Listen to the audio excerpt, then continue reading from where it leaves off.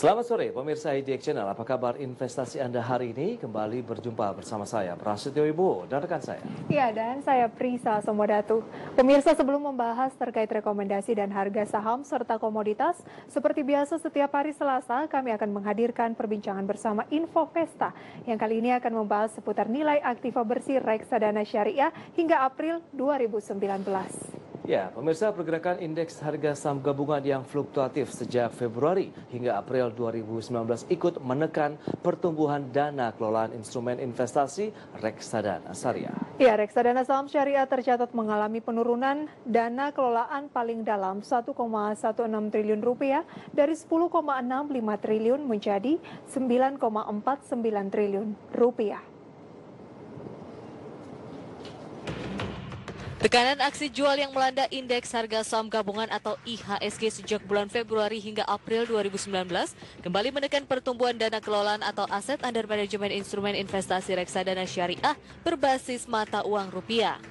Data Infovesta menyebutkan jumlah dana kelolaan atau aset under manajemen AUM reksadana syariah per April 2019 mengalami penurunan hingga 341,94 triliun rupiah bila dibandingkan dengan bulan Maret 2019. Aum reksadana syariah turun dari 28,05 triliun menjadi 28,4 triliun rupiah.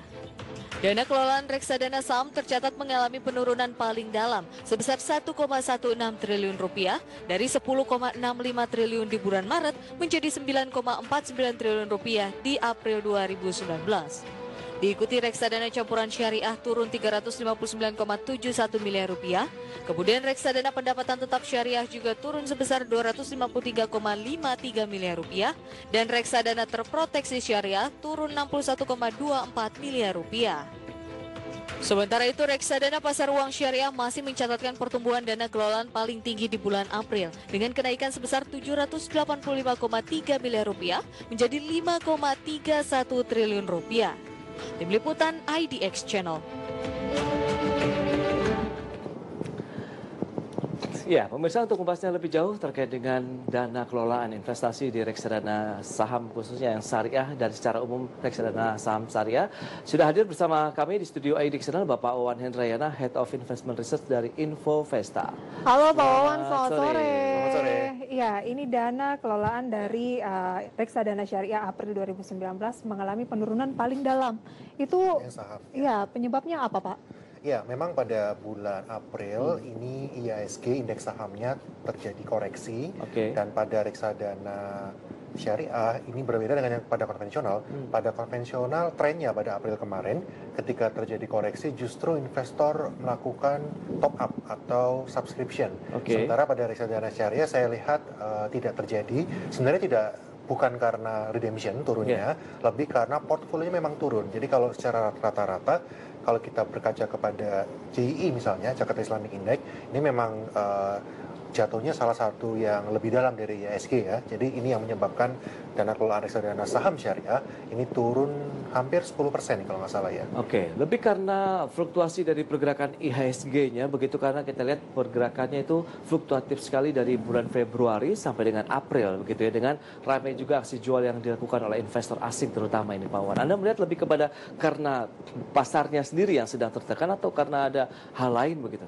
Iya, saya melihat lebih kepada sentimen pasar sebenarnya. Okay. Jadi memang saham-saham yang bisa dimasuki oleh reksadana syariah itu kan otomatis yang uh, non haram ya. Jadi yeah. yang saham perbankan jelas tidak bisa. Jadi fokusnya okay. biasanya saham-saham syariah ini fokusnya ke infrastruktur, hmm. lalu consumer goods, Baik. lalu juga uh, properti dan konstruksi. Dan kebetulan saham-saham ini salah satu yang jatuh paling dalam pada bulan yeah. April kemarin. Jadi ya di satu sisi memang untuk reksadana saham syariah boleh dibilang lebih tidak terdiversifikasi dibanding yang konvensional, terutama dari bagian keuangan tadi.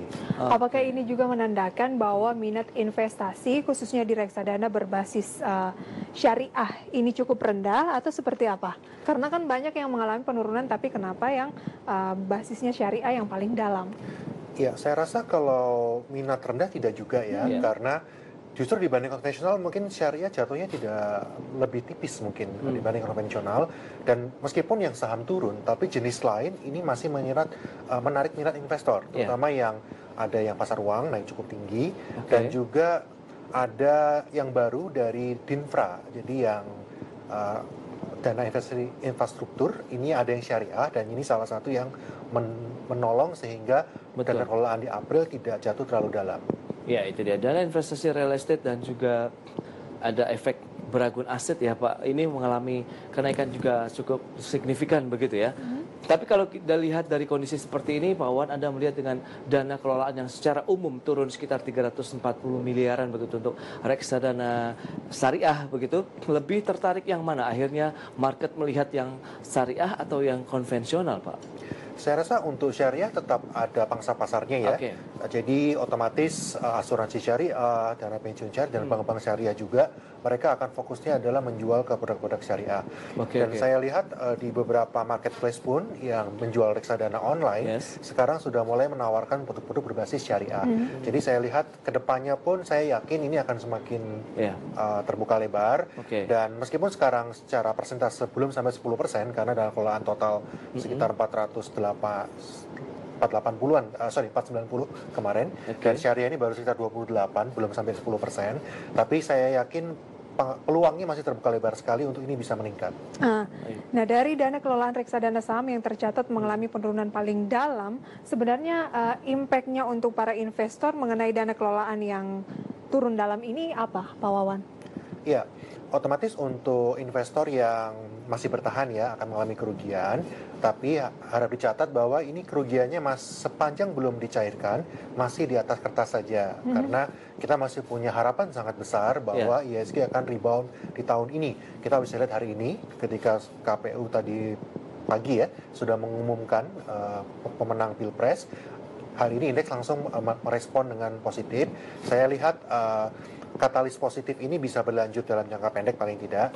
Oke. Okay. Karena memang masih ada langkah lain, tapi untuk syariah bisa kembali lagi paling tidak menjadi positif mm-hmm. dari dana kelolaannya yang saham memang masih menunggu dari pasar global juga ya, itu terutama dia. dari perkembangan perang dagang lalu juga Betul. suku bunga di Amerika Serikat akan berpengaruh ke dalam negeri juga harga komoditas juga berpengaruh jadi saya melihatnya untuk investor long term sebenarnya koreksi saat ini bisa dimanfaatkan untuk melakukan untuk mencicil membeli okay. untuk masuk tapi untuk investor jangka pendek ya kita lihat sendiri seperti hmm. tren yang terjadi, investor lebih tertarik untuk menempatkan pada pasar uang syariah. Itu Karena dia. justru pada pasar uang yang syariah sedikit lebih tinggi daripada konvensional. Yes, karena kita lihat pasar uang ada kenaikan sekitar 785,3 miliar rupiah menjadi 5,31 triliun rupiah. Strateginya seperti apa? Nanti kita akan bahas lebih lanjut di segmen berikutnya. Pemirsa tetaplah bersama kami di IDX Channel.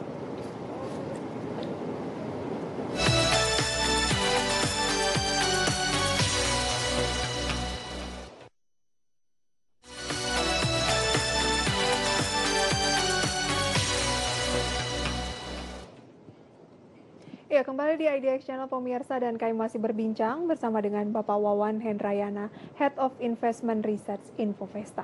Baik, Wawan, kita lanjutkan kembali begitu. Tadi memang di antara beberapa jenis reksadana syariah tadi mengalami tekanan ya dari uh, periode April begitu. Tapi ada satu juga yang masih menjadi pilihan bagi investor adalah di reksadana pasar uang syariah. Nah ini juga terjadi hal yang sama di yang konvensional begitu Pak. Apa sih sebenarnya yang menjadikan pasar saham khususnya begitu yang untuk saat ini istimewa begitu dibandingkan dengan jenis reksadana lainnya? Ya untuk pasar uang karena dia adalah jangka pendek, ya. uh, kebanyakan ke deposito syariah, okay. sehingga relatif sangat aman hmm. dan ini dimanfaatkan oleh para investor untuk parkir dana dulu. Okay. Apalagi mungkin sambil menunggu keputusan dari pilpres ya hmm. di Mei. Jadi banyak saya lihat banyak investor yang masih ragu-ragu atau wait and see, kebanyakan uh, tahan dulu masuk ke yang saham lebih okay. baik ditempatkan di pasar uang dulu. Saya melihatnya mungkin setelah sudah ada kepastian seperti hari ini, yes. sebagian dari pasar uang bisa saja nanti pindah ke yang jenis hmm. lain baik itu saham maupun pendapatan tetap. Jadi Anda melihat bahwa uh, dana kelolaan dari reksadana berbasis syariah tadi itu kan mengalami penurunan. Apakah karena dalam impactnya juga keluar dari uh, jenis reksadana tersebut dan beralih ke pasar uang? Kalau keluar saya tidak melihatnya sih, hmm. uh, lebih karena fokus kepada penurunan nilai portfolio saja. Sementara okay. yang pada pasar uang justru ini fresh money yang oh, masuk justru ke, lebih ke fresh money ya, ya yang mendorong kenaikan. Betul, justru ter tertolong dengan adanya yeah uh, investor yang investasi meskipun karena masih wait and see dia tempatkan dulu pada pasar uang. Itu dia. Karena cukup besar 785 miliaran begitu Pak Wawan. Ini kan jadi dana segar yang masuk juga. Tapi kenapa akhirnya ini bicara mengenai dari kondisi yang market Anda katakan tadi masih wait and see begitu ya. Akhirnya jangka pendek juga menjadi pilihan karena kalau kita bicara mengenai pasar modal, hal yang sama juga tengah terjadi saat ini mereka menginvest untuk hit and run misalnya jangka pendek sekali Pak.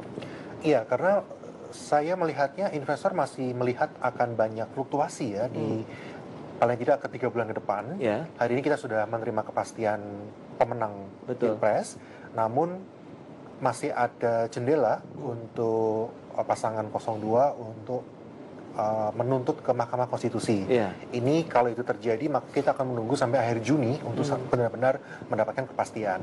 Lalu nanti setelah itu pun masih akan ada beberapa uh, faktor lain misalnya nanti pembentukan kabinet akan yeah. dilihat seperti apa. Lalu yang masih sangat menjadi momok bagi para investor adalah uh, bagaimana kelanjutan dari perang dagang tadi. Apakah hmm. suku bunga di Amerika akan naik atau tidak? Ini akan pengaruh ke dalam negeri. Okay. Apalagi kalau kita bicara uh, syariah, ini banyak juga dalam investasi dalam sektor komoditas. Hmm. Jadi ini harga komoditas yang sekarang masih fluktuatif ini akan sangat dipantau oleh investor. Jadi okay. kalau untuk memitigasi dari hal tadi ya paling aman memang pada pasar uang dulu. Oke. Okay. Baik, jadi kalau mau uh, berinvestasi di reksadana saat ini ya pilihannya adalah pasar uang. Untuk investor jangka pendek ya, yang tidak menghendaki ada fluktuasi kerugian hmm. gitu ya. Yeah pasar uang paling aman. Tapi cukup tinggi tidak gain yang diperoleh Pak Wawan jika kita ingin hmm. berinvestasi di reksadana mengambilnya jangka yeah. pendek atau uh, dengan strategi tersebut dengan kondisi yang Anda sudah paparkan tadi. Saya rasa untuk tinggi atau tidak relatif ya. Hmm. Kalau kita benchmarknya adalah deposito, uh, otomatis yang pasar uang saat ini lebih tinggi dari deposito itu lebih menarik. Jadi uh, year to date yeah. Ya. uh, sampai tanggal 20 ini beberapa yang tertinggi itu rata-rata yang pasar uang sekitar dua setengah persen. Ini jauh lebih tinggi dari rata-rata de deposito yang syariah. Oke, baik. Berarti memang bisa menjadi alternatif pilihan investasi khususnya reksadana syariah begitu tidak jauh berbeda dengan yang konvensional. Dengan kondisi market yang Anda katakan faktor global, kemudian di dalam negeri juga menanti apakah dari pihak yang uh, tidak menjadi pemenang begitu dalam pilpres kali ini untuk melakukan masuk ke dalam Mahkamah Konstitusi kan berarti ada rentang waktu lagi yang dibutuhkan. Anda melihat ini akan mature atau stabilnya itu mulai kapan Pak Wawan? Iya, sebenarnya kalau kita bicara spesifik pada saham, iya. uh, kalau kita lihat 10 tahun terakhir dengan berbagai alasan, hmm. rata-rata ISG selalu terkoreksi pada uh, Mei sampai dengan Oktober. Oh, itu okay. umum. Uh, sorry, Agustus sampai Agustus, Agustus ya? ini uh, trennya adalah terkoreksi. Nanti setelah masuk ke September Oktober biasanya akan akan mulai rebound. Dan kalau tahun ini bertepatan juga kalau Oktober adalah dengan pelantikan uh, Pak Jokowi nanti yeah. ya, itu pada bulan Oktober. Mm -hmm. Dan kalau kita berkaca kepada 2014, itu juga sama ketika Oktober dilantik presiden, yeah. ini ISG langsung bisa mulai uh, katalis positif jadi kuat sekali untuk naik. Saya melihat baik konvensional maupun syariah akan sama-sama terpengaruh hmm. karena syariah ini juga banyak invest pada sektor infrastruktur, hmm. konstruksi. Ini otomatis akan sangat diuntungkan mendorong, ya, ya, mendorong juga ketika program-program yang saat ini sudah ada itu terus di, dijalankan. Jadi kalau okay. mau eh, kita ingin berinvestasi khususnya di reksadana saat ini, ini momen yang tepat atau seperti apa? Karena kan banyak yang menilai juga bahwa uh, saat ini kan harga lagi diskon di pasar modal. Nah, kalau investasi reksadana juga demikian tidak Pak Wawan? Sama. Jadi untuk reksadana karena dia invest pada saham, yeah. ketika saham yang dia investasikan valuasinya relatif murah, ya otomatis reksadananya jadi quote unquote jadi ikutan murah begitu ya. Hmm. Jadi saya tetap sarankan untuk investor uh, diversifikasi, jadi boleh masuk ke saham sekarang, tapi porsinya jangan terlalu besar juga. Okay. Yang terbesar tetap mm -hmm. uh, pada pendapatan tetap atau pada pasar uang untuk saat ini. Nanti kalau mau uh, shifting, rebalancing menuju ke saham, yeah. lebih lebih baik kita menunggu uh, September atau Oktober. Oh gitu, September dan Oktober. Nah, bagi manajer investasinya bagaimana Pak Wan? Anda katakan ada beberapa underlying karena ini berbasis syariah mengandalkan komoditas sementara pasarnya pun saat ini juga masih belum bisa dikatakan baik begitu dari sisi harganya. Ini bagaimana? Apakah akhirnya mereka mencoba mencari uh, lebih kepada sektor lain misalnya? Ya, tentu saja banyak pilihan saham ya, hmm. karena syariah cukup banyak. Dari 500-an saham, mungkin sekitar 200 lebih itu menjadi saham syariah yang bisa dipilih. Okay. Jadi di dalamnya pun ada beberapa saham yang defensif seperti Baik. itu. Jadi mungkin saat ini fund manager bisa shifting ke saham-saham yang defensif. Contohnya yeah. biasanya dari saham consumer goods seperti Unilever, lalu hmm. uh, Indofood, uh, itu biasanya digolongkan sebagai saham defensif. Yeah. Uh, ketika indeks terkoreksi dia tidak terlalu dalam jatuhnya. Betul. Sementara bisa ke situ dulu fungsinya untuk apa? Agar ketika indeks terkoreksi jatuhnya tidak sedalam indeks itu yang diharapkan. Hmm. Oke, okay, tapi Anda melihat peluang kejatuhan dari indeks harga saham gabungan kan hari ini rebound nih. Yeah. Masih terbuka lebar tidak? Saya rasa paling tidak untuk jangka waktu yaitu tiga bulan ke depan tadi. Iya, saya rasa fluktuasi masih masih bisa terjadi lagi hmm. karena yeah. perang dagang ini masih masih cukup panas begitu ya. Betul.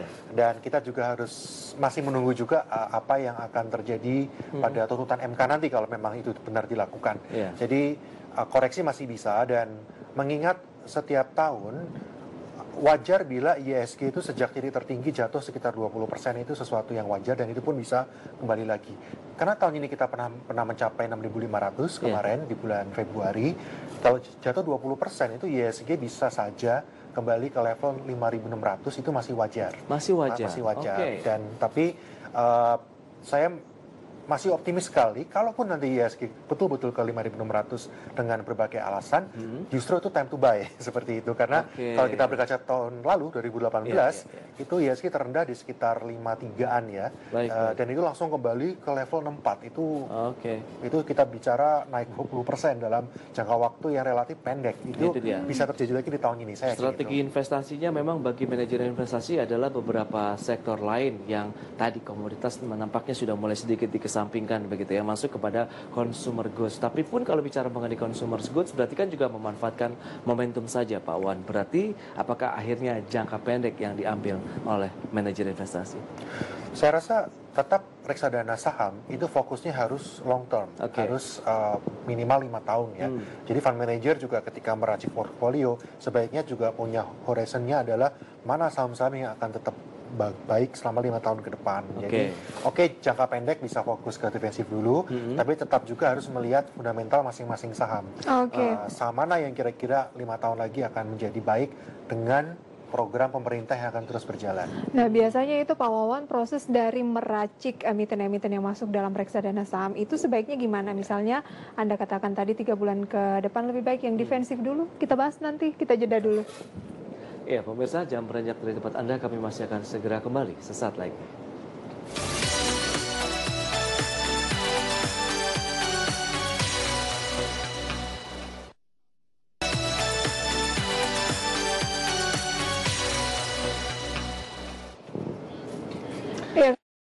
Channel pemirsa, kami masih berbincang bersama dengan Bapak Wawan Hendrayana, Head of Investment Research Infovesta. Baik, bicara mengenai dana kelolaan dari investasi reksadana syariah, begitu kita tahu di konvensional juga ada penurunan, begitu dari sisi nilainya. Kalau sempat kita bahas beberapa waktu lalu, ada juga dana segar yang masuk dan apakah kondisi yang sama juga di reksadana syariah, Pak Wan? Dalam artian ada juga fresh money Iya, secara nominal memang turun. Yeah. Ini terutama karena tadi ya yang saham jatuhnya cukup dalam. Okay. Tapi sebenarnya kalau kita lihat dari sisi penambahan unit justru bertambah. Jadi hmm. ada fresh money yang masuk ke reksadana, terutama pada reksadana syariah pasar uang, Baik. dan juga ada pada jenis baru hmm. itu dana investasi infrastruktur atau yang disebut dengan dinfra. Yeah. Ini ada fresh money juga mungkin sekitar 600-an miliar masuk ke okay. dalam bentuk dinfra. Jadi sebenarnya kalau nanti sahamnya sudah bisa kembali, saya yakin dana kelolaannya akan meningkat. Saya sangat berharap bisa menembus 30 triliun. Sih. Dana kelolaan yang mana iya. dulu nih Pak? Yang syariah, yang syariah, yang syariah rupiah. rupiah. rupiah. Ya, ya. Hmm. Bisa menembus tiga, karena kan 28 ya. Yeah. Harapannya nanti di akhir tahun bisa menembus 30 triliun. Wow. Apakah kita juga harus ikutan nih Pak Wawan untuk yang belum memiliki reksadana mungkin masuknya di reksadana uh, yang memang tadi ada fresh money-nya gitu? Ya, untuk Dinfra kalau di infra penjualannya lebih terbatas ya hmm. dan nominalnya lebih besar. Tapi untuk investor pemula, saya sangat menyarankan masuk ke pasar uang dulu untuk sekarang. Pasar ya. uangnya yang syariah juga? Boleh. Uh, Boleh. Itu mudah sekali dibeli sekarang karena di marketplace itu sudah ya. bisa pilih mau yang konven atau yang syariah untuk pasar uangnya dan bahkan yang pasar uang syariah sedikit lebih tinggi dibanding konvensional. Oke. Okay. Okay. Jadi untuk parkir dana sambil yeah. nanti mau masuk ke mhm. saham atau mana sambil kita menunggu mungkin bulan September atau Oktober, mm uh, silakan parkir dulu pada pasar uang syariah jauh lebih menguntungkan dibanding penempatan pada tabungan atau pada deposito. Oke, lantas bagaimana dengan produk-produknya yang tersedia saat ini di pasar, Pak Wan? Anda melihat kita tahu untuk yang konvensional saja ini jumlahnya terbatas, begitu dalam artian belum banyak dibandingkan dengan pasar modalnya sendiri. Nah, untuk yang syariah bagaimana? Iya, kalau kita bicara pada yang berbasis pendapatan tetap suku yeah. itu memang asetnya terbatas, portfolionya okay. yang bisa dipilih terbatas karena suku ini lebih kecil dibanding yang obligasi konvensional. Okay. Namun untuk yang pasar uang maupun yang saham sebenarnya tidak ada restriksi dari dari sisi asetnya seperti itu. Mm -hmm. Jadi reksadana bisa saja masukan besar, saya rasa yeah. tidak akan ada masalah di situ. Oke, okay. berarti menarik kalau kita bicara beberapa jenis reksadana syariah hmm. pun bisa menjadi pilihan bagi para investor begitu apalagi dengan kondisi market seperti ini di pasar saham ini bisa menjadi pilihan dengan reksadana saham yang masih memiliki return terbaik meskipun tadi dari sisi penurunan nilainya cukup jauh ya Pak bahkan di atas satu triliun begitu. Iya, memang kalau kita bicara keseluruhan turun, ya. tapi sebenarnya kalau investor jeli dan melihat hmm. yang uh, kinerja terbaik top 5, top 10 sebenarnya yeah. masih masih positif dan masih positif secara umum atau bagaimana? Iya, dan okay. bersaing juga dengan yang konvensional sebenarnya. Oh. Jadi kalau kita lihat top 5-nya gitu tetap ada yang syariah masuk ke situ. Oh, Oke. Okay. Iya. Kalau ingin masuk ke syariah, Pak Wawan kan memang sudah sering kita bahas, tapi kan masih banyak memang yang cukup awam dengan uh, reksadana, yeah. apalagi reksadana syariah. Ini yang dilihat apa sih sebenarnya bahwa jenis reksadana ini bagus? Apakah dari dana kelolaannya, dari returnnya, atau apa? Ya, dana kelolaan memang harus diperhatikan hmm. karena ada aturan bahwa minimal reksadana punya 10 miliar sebagai dana kelolaan. Kalau di bawah itu bisa dibubarkan. Tapi uh, jadi kalau mau milih fund ya yang di atas uh, 10 miliar.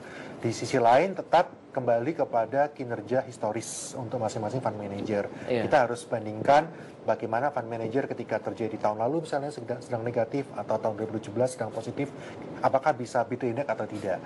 Namun kalau kita bicara pada pasar uang misalnya, sebenarnya itu tidak perlu terlalu dikhawatirkan karena secara historis itu sudah yang paling aman dan tahun ini pun dengan suku bunga sekitar 6%, ya kita bisa mengharapkan pasar uang bisa sekitar 5 sampai lima setengah persen. Oke, okay. nah. yang paling erat kaitannya dengan kondisi market saat ini apa Pak yang ditunggu bagi para investor reksadana khususnya berbasis syariah sehingga ini menjadi suatu hal yang perlu dicermati apakah mereka sudah mulai bisa masuk begitu time to buy atau masih wait and see?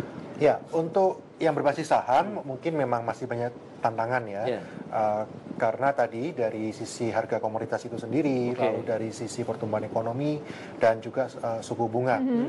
uh, tapi kalau kita bicara yang pendapatan tetap, tantangannya memang dari ketersediaan produk untuk ya. diinvestasikan ya? itu sendiri. Yeah.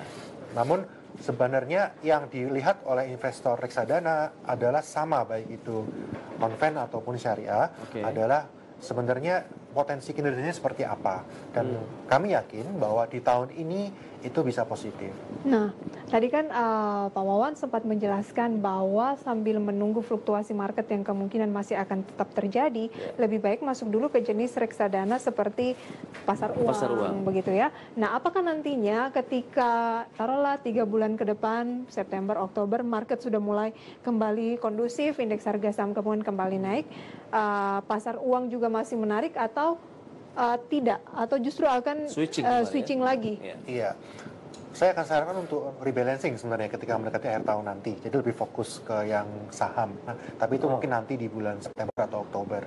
Pasar uang sendiri saya lihat ya tetap akan menarik sepanjang dibandingkan dengan deposito ya. Yeah. Dan tujuan dari pasar uang adalah likuiditas.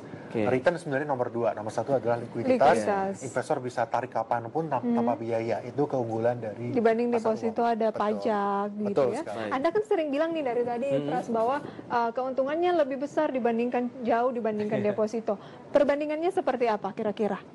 Ya, misalnya kalau kita lihat uh, deposito adalah 6% dan uh, ada pajak ya 20%, mm -hmm. jadi yeah. sebenarnya netnya 5%. Saat ini reksadana pasar uang setahun rata-rata uh, di atas itu, sekitar lima setengah. Jadi sebenarnya sudah ya kalau kita bicara persen, 10% di atas deposito sebenarnya hmm. uh, rata-rata ya. 10% okay. di atas deposito. Baik, lagi-lagi bagaimana dengan skema investasi di reksadana syariah. Menurut Anda begitu? Apakah porsinya dengan tiga bulan ke depan yang Anda katakan ini masih sangat fluktuatif sampai dengan lepas di bulan Agustus nanti, tiga bulan ini seperti apa strateginya Pak? Iya, untuk spesifik tiga bulan ini, karena kita masih menunggu beberapa katalis ya, yeah. Uh, saya sarankan lebih defensif saja. Okay. Jadi mungkin sebagian besar pada pasar uang bisa. 50 persen? Mungkin terlalu besar 50 persen. mungkin ya 30 sampai 40 persen pada pasar uang. Okay. Uh, kita tetap invest pada yang saham uh, bisa bisa 20 persen. Uh, okay. Mungkin 30 persennya pada pendapatan tetap untuk sekarang. Dan lihat nanti uh, kalau situasi mulai kondusif lagi di switch ya. Saya akan selalu sarankan nanti besar. ketika sudah mendekati September Oktober dibalik lima lima tiga dua di mana lima puluhnya akan saham. Oh. Tapi itu nanti. Kalau iya. sekarang jangan dulu. Betul. Oke oke oke. Itu dia 40 20 30 dalam artian pasar uang porsinya 40 persen, kemudian 30 persennya di pendapatan tetap dan 20 persen untuk reksadana saham. Sementara ini untuk rentang waktu sekitar tiga bulan. Nanti setelah tiga bulan ke depan kita lihat situasi market seperti apa, nah, baru dilakukan rebalancing dengan memperbesar porsinya lagi di reksadana saham syariah begitu ya. Baik. Ya. Pak Wawan, sayang sekali waktunya terbatas ini. Terima, Terima kasih banyak, banyak Pak Wawan ya, untuk sharingnya ya. Semoga ini ya. bermanfaat bagi para pemirsa yang ada di rumah mengenai investasi reksadana khususnya syariah. Baik, pemirsa demikian perbincangan kami bersama dengan Bapak Wawan Hendrayana, Head of Investment Research dari Infovesta. Ya, jangan beranjak dari tempat Anda pemirsa karena di segmen berikutnya kami akan sampaikan update pergerakan indeks di regional Asia dan juga Eropa. Anda bisa turut berpartisipasi, ajukan pertanyaan langsung melalui line telepon maupun WhatsApp internet interaktif. Kami segera kembali.